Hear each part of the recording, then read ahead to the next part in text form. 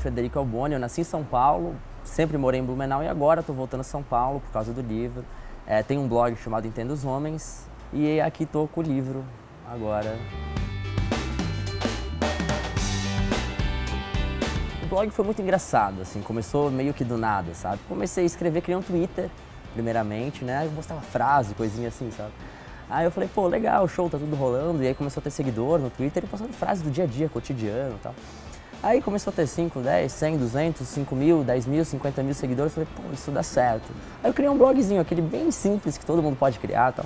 E comecei a postar textinhos e coisinhas assim, e as coisas foram rolando. E dentro disso eu falei, pô, vou criar alguma coisa maior. E o, o objetivo do blog sempre foi assim, criar um conteúdo para mulher que queria ler mais coisas que a sociedade determinasse como coisa de mulher, digamos assim, sabe?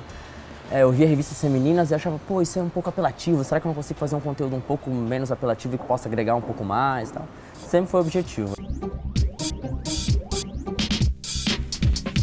Essa questão de, de escrever um livro ou não foi uma oportunidade que apareceu, eu nunca tinha realmente pensado, quero escrever um livro. Óbvio que é um sonho que a gente tem às vezes, mas eu nunca tinha materializado ele. Então, para mim foi muito, foi muito gratificante. Qual a diferença do livro para o blog? O blog tem um contato muito direto. Às vezes isso é bom, às vezes isso não é tão bom. No livro tem uma liberdade maior para escrever e falar assim, meu, só vão ler depois, então não tem aquele feedback na hora, ah, vou mudar, não gostei, sabe? É uma coisa mais, pô, é realmente mais você ali, tem mais uma essência pessoal, assim.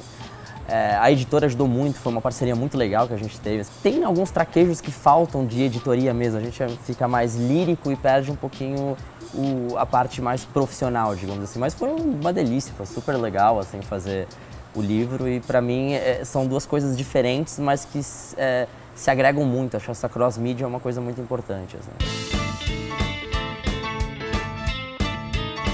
O livro é, tem a mesma pegada do blog, eu imagino, uma questão de, de agregar mesmo a mulher que vai ler, ela pô, ficar mais plena, ter mais autenticidade, ser uma coisa mais por ler e ser divertida, assim. Dentro do livro tem é, tanto é, crônica, que a gente fala de cotidiano, uma coisa bem leve, uma coisa dia a dia, uma coisa de identificação grande, assim, contos, que é uma coisa um pouco mais erótica, mas não chega a ser erótica, é sensual, digamos, é leve, não tem nada muito pesado, é uma coisa mais é, safadas, se é que assim posso dizer, sabe?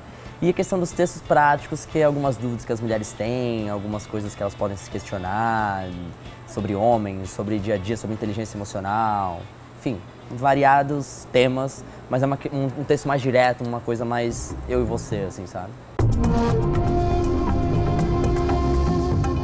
O que, que é um sorriso ou dois? Assim, ó, é, você pode ler o livro e dar um sorriso você e sua namorada, é, eu e você, você e a sua mãe, enfim, um sorriso é uma coisa muito ampla e o objetivo do livro é esse, assim, ler e dar um sorriso ou dois. É, talvez aprender alguma coisa. Caso não aprenda, ficam as belas histórias e eu acho que é o que conta, sabe?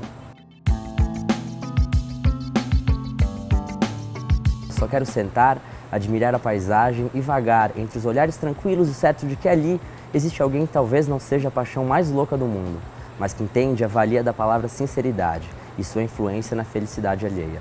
Eu não falo de amores modernos e de sentimentos quase que imensuráveis, mas de um gostar descomplicado, sereno, confluente, leve e brando. Daqueles que se gostam pelo que se é, não pelo que se tem ou que se faz. Daqueles erguidos e mantidos pela franqueza. Daqueles que seguram-se as pontas quando necessário e transformam os nós em laços.